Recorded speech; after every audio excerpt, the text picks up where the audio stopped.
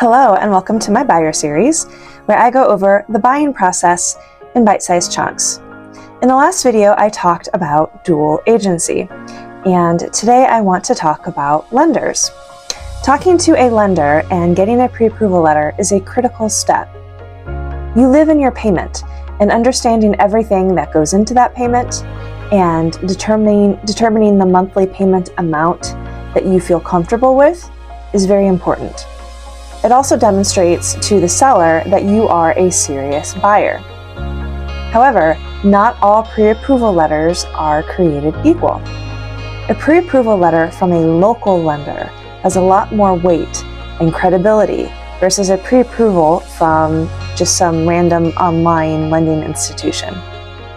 And why is that?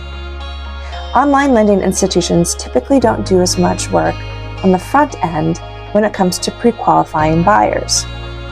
Most experienced agents have been in a situation where a buyer's financing either fell through because it turned out that the buyer really didn't qualify for the loan, or the closing was significantly delayed because the institution didn't have their stuff together.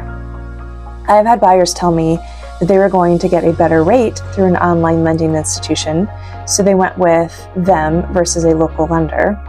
However, as we got close to the closing, they realized there were a lot of hidden fees and were disappointed that um, they went with an online lending institution rather than a local lender.